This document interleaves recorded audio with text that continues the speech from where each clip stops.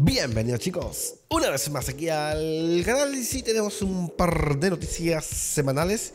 Eh, Como ya saben, si la gente o alguno de ustedes ya sabe Acabo de terminar God of War Ragnarok y estamos jugando nuevamente un speedrun de Elden Ring Para sopesar un poquito ahí cuál sería el GOTI Aunque yo ya estoy decantado hacia una opción Pero lo estamos jugando aquí en el canal Vamos a hablar sobre varios temitas el día de hoy. Por ejemplo, vamos a hablar sobre Evil West, juegazo que se viene para consolas. Vamos a hablar sobre Perfect Dark, ¿vale? Eh, la productora dice que va muy muy bien, así que muy y grandes noticias para la gente de Xbox. Vamos a hablar sobre The Callisto Protocol, que lanzó un tráiler que está literalmente que te cagas encima. Literalmente. Y vamos a hablar también sobre Call of Duty y el nuevo Warzone 2.0. Vamos a hablar chicos también sobre eh, God of War Ragnarok y vamos a hablar un poquito tal vez sobre los The Games Awards. Este día martes o lunes, no me acuerdo, hicimos un directo, está aquí en el canal. Eh, anunciaron en este caso los nominados. Tengo unas pequeñas molestias, pero vamos a hablar también un poquito de ese tema para entrar un poquito, no sé, puedo entrar para que se ponga caliente la cosa. ¿Ven qué chicos? Así que venga, vamos a iniciar. Bien chicos, lo que eh, me gusta sobre el nuevo Call of Duty, aunque yo no soy una persona que juega mucho Call of Duty, yo lo sabe muy bien la gente aquí en el canal, porque no me gustan los juegos en primera persona, especialmente los de disparo, y nunca me ha llamado la atención. ¿Vale? Pero ya en este caso Activision Blizzard puso a la venta o puso para descargar gratis la nueva versión del Warzone 2.0, ¿vale? Del cual está muy, muy bien. Eh, he escuchado que tiene muy buenas críticas, está muy bueno, pase de batalla, contenido, nuevas mecánicas, está bastante bien, pero hay una cosa en lo personal que a mí me gusta un montonazo y puede que lo intente jugar aquí en el canal, no lo sé todavía. Pero es que en este caso la gente de Infinity World, ¿vale? Los productores de este Call of Duty, eh, hicieron un modo en tercera persona que está muy, muy guapo. Me hace recordar mucho al No Battlegrounds, ¿vale? Y la verdad es que me gusta un montonazo ese modo en tercera persona. Y me gustaría de verdad probarlo, a ver qué tal sería. Porque, bueno, hay mucha gente que le gusta Warzone, le saca chispas en la cabeza, ¿no? Para poder matar personas, el modo competitivo está bastante, bastante bien. Así que eso me va a inspirar un poquito, tal vez, a probarlo aquí en el canal. Déjame aquí en los comentarios qué piensas sobre este nuevo modo tercera persona del Call of Duty Warzone 2. Bien chicos, en este caso para la gente que le guste, yo no soy muy fan del, del Perfect Dark, pero ya Microsoft hace un par de años anunció que estaban trabajando eh, el nuevo grupo o la nueva estudios que ellos están formando, que tienen mucho talento, de la iniciativa, de Initiative, eh, está trabajando en un posible, o está trabajando en un Perfect Dark con la ayuda de Crystal Dynamics, si no me equivoco del cual ellos han comentado y han dicho que en este caso el proceso del videojuego va muy muy bien y lo más seguro que podamos ver eh, grandes avances. Si bien vimos solamente una cinemática, no vemos gameplay, cuando veamos gameplay podemos hablar de algo más tangible, ¿no? Cuando veamos cinemática es como los juegos de PC, ¿no? Mucha cinemática y después te encuentras un bonito en medio de un, de un patio, ¿no? Es como complicado. Pero por lo menos dicen que va muy, muy bien y es muy buena noticia. Bien chicos, también vamos a hablar o voy a comentar un poquito que eh, el día de hoy eh, la gente, o no, me acuerdo la persona o el, grupo que está haciendo de Callisto Protocol, este nuevo juego de Survival Horror, ¿vale? Que está ganando mucha fuerza, mucha fuerza nuevamente en estos tiempos. Eh, lanzó un nuevo tráiler que estará disponible para todas las personas, ¿no? Eh, se ve muy, muy bien el juego, chicos, de verdad. O sea, tiene una pintaza de que te cagas de miedo y también de cómo se ve, te puedes cagar doblemente. Este va a estar disponible en diciembre, chicos, y está como para jugarlo día uno aquí en el canal. No lo sé, tendríamos que probar, pero bueno. Tiene una pinta de Callisto Protocol, chicos, que deberían tenerlo sí o sí ustedes en su lista para poder probarlo. Aparte que va a ser multiplataforma y va a salir prácticamente para todo excepto para Switch, por pobre consola de Nintendo que tiene sus pequeños detalles. Bien chicos, también voy a hablar sobre The Evil West, ¿vale? Este nuevo juego que va a estrenarse ahora a finales de noviembre, que también tengo unas ganas locas de querer jugarlo. Tiene una pinta buenísima, pero más me voy a centrar en lo que ha hablado en este caso la productora, ya que mucha gente habla sobre Series S, la hermana pequeña de esta que está aquí al ladito. Em, ellos comentan que en realidad Series S no está lastrando para nada la generación porque no tiene la obligación de paridad técnica. La verdad que no entendía muy bien, así que busqué un poco de información y ya quiero explicarles qué significa esto. Lo que significa es que en este caso Microsoft o la productora o en este caso la dueña de la consola no le exige en este caso a la, a la productora sacar eh, la misma versión para todas sus consolas. ¿Qué quiere decir esto? Es que si bien es una consola de nueva generación, Microsoft no le exige a los que hacen Evil West que la versión tanto de Series S como de Series X sean exactamente iguales. Más bien les da su libertad. Dice, oye, acá están mis dos consolas, esta es más potente que esta, pero el juego sale para ambas, pero obviamente esta, al ser más potente, puede tener ciertas bonificaciones o ciertas especificaciones mucho más altas. Un decirte, puede que tal vez para Series X el juego salga con ray tracing, como para Series S no salga con ray tracing. Lo mismo para PlayStation, si sale para PlayStation 4 y para PlayStation 5, PlayStation 5 tendrá eh, ray tracing, como PlayStation 4 no tendrá ray tracing. Eso, eh, en este caso, Sony y Microsoft no le exige a las productoras que saquen una paridad técnica en sus versiones de videojuegos. Mientras salga se vea bien y venga, en este caso, con un buen frame rate y una buena resolución, Ahora, que tenga más frame rate o menos frame rate en una u otra, ellos la dirán en su oportunidad. Así que yo en lo personal eh, estoy muy contento de que aclaren esto, ¿vale? De que Series no está lastrando la versión de Play de PlayStation 5 ni de Series X, ¿vale?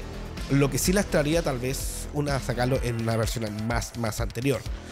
Eso entiendo yo. Así que en lo personal bastante bien, bastante contento de que las productoras se digan esto y obviamente eh, puedan resolver ciertas dudas que tiene el usuario para poder comprarse o no el video o juego. ¿Ok? Venga.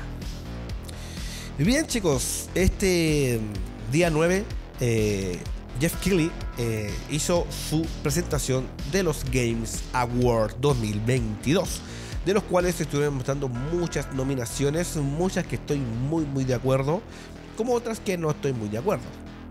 Si bien eh, no tengo mucho pito en, muchas nominaciones porque no conozco los nominados ni conozco las categorías, pero sí conozco ciertas cosas, especialmente eh, en los que yo creo que son los más importantes, y creo que es el más importante, eh, que sería en este caso las nominaciones de Games Award a GOTY, a Juego del Año, ¿no? de los cuales estaremos viendo en pantalla cuáles son los nominados. Tendríamos a Playtale Requiem de Asobo Studios, tendríamos Elden Ring, obviamente de From Software, tendríamos a God of War Ragnarok por Santa Mónica, tendríamos también a El Horizon Forbidden West por parte de eh, Guerrilla, eh, también tendríamos Stray eh, por parte de Blue Bell Studio. Y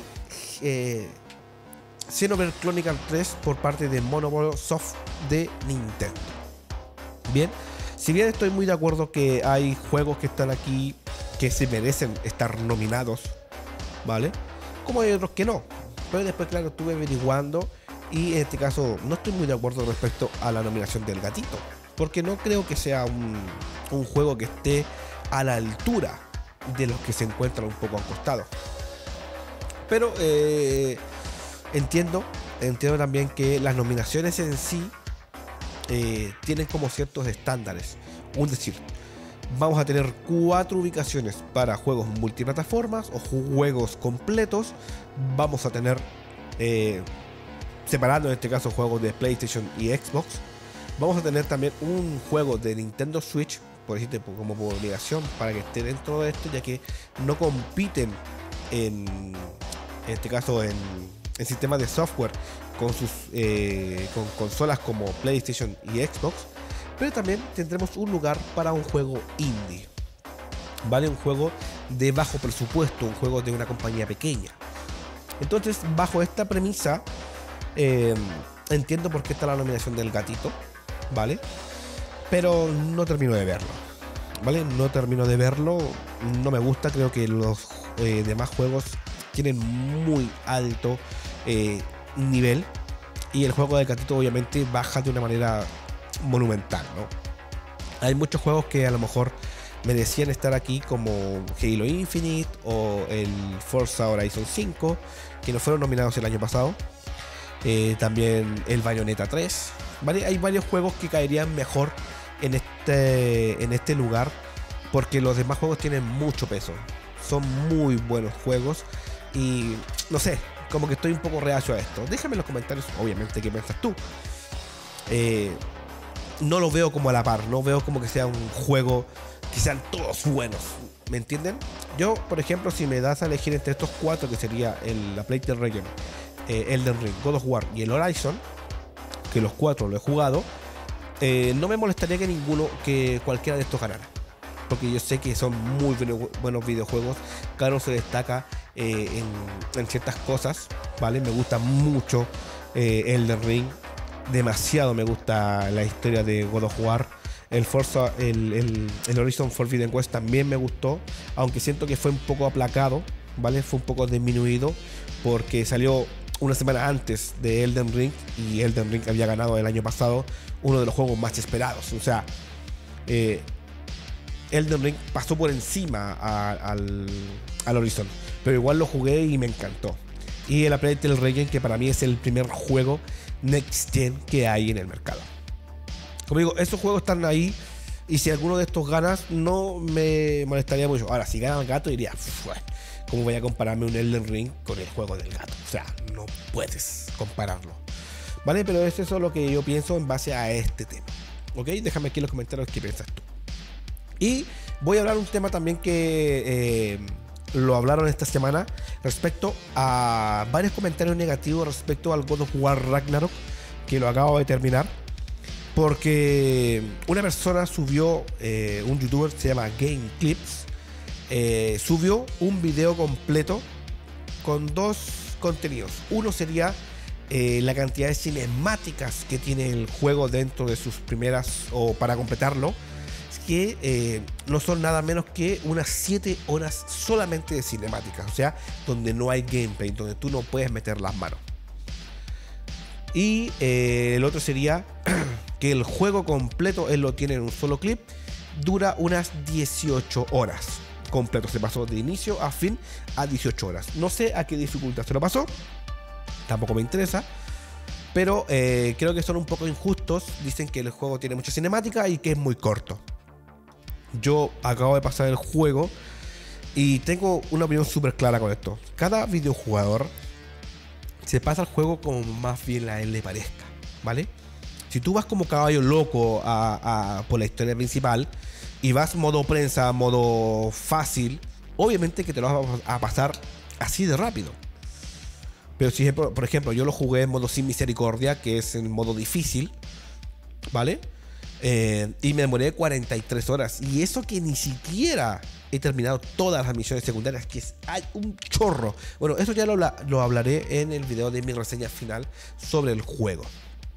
Entonces no es justo que tachen o metan dentro del of War que, esta persona se lo pasó en 18 horas.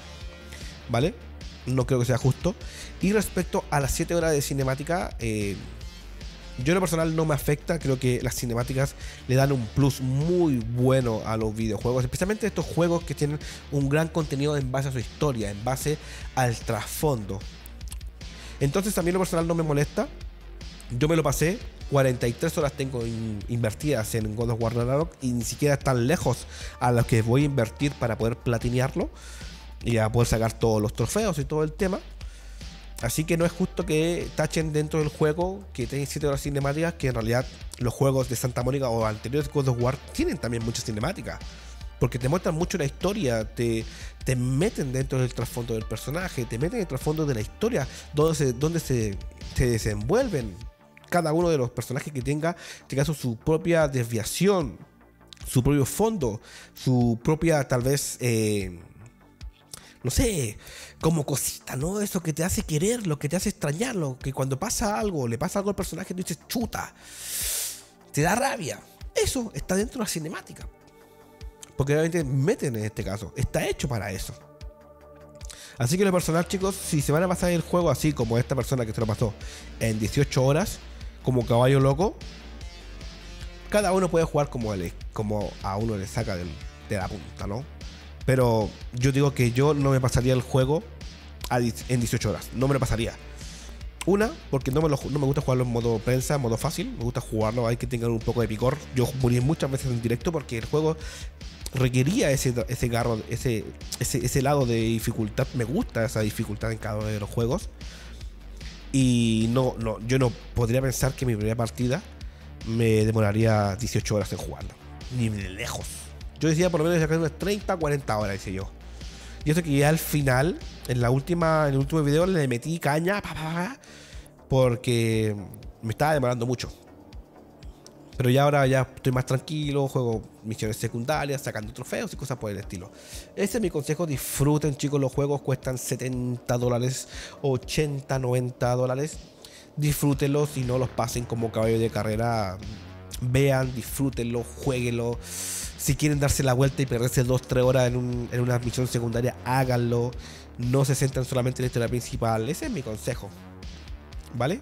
Pero cada uno puede hacer lo que le salga de la punta del rabo. Chicos, así que sí que agradecido por todo el cariño y el apoyo que me dan en cada uno de los videos. Y agradecido de los que están en el directo y también los que apoyan los shorts y también los que apoyan los videos que siempre voy a estar inmensamente agradecido. Chicos, un besito, cuídense mucho y no se olviden aquí abajo en los comentarios. Díganme qué piensan, qué creen respecto a los temas que hemos hablado el día de hoy. Un besito y nos vemos en un siguiente directo o video. No lo sé. Bye. Bye.